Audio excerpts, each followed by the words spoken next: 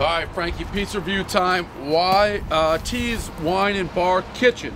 It's actually like a super nice restaurant there. This guy was working there. Now he's looking. Was that the owner who came out? Oh, The guy was sitting on the. He was sitting at the bar.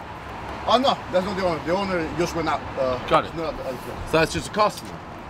Uh, they treat everyone well. This customer's rolling around like he owned the joint. He's the one who invited you in, Frankie. I thought he owned it. Do you need to get in? Do you need to get in the restaurant? or- No, no, no. I'm just waiting for someone in there. He's coming out. Thank you very much. Yeah. Uh, one bite, everyone knows the rules. Like I said, very date vibe in there. You got the vino, you got all the different wines, white, red, uh, and then pizza. Saucy in the middle. I'm not sure if I overheard this guy there. Did you say the chef didn't eat pizza?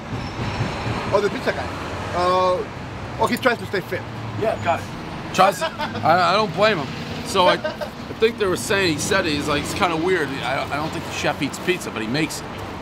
One bite, ever knows the rules. What just happened there? Taking a slice off, the whole thing ripped to hell. This is a messy sauce all over. This is like not. This is a one and a quarter slice. That's on you.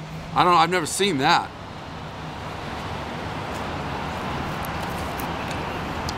Yeah, the Parmesan on there. I gotta be honest, it's a little bit messy if it's a like date spot.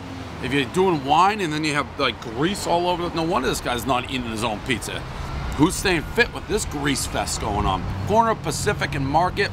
Uh, see what Stamford, Connecticut.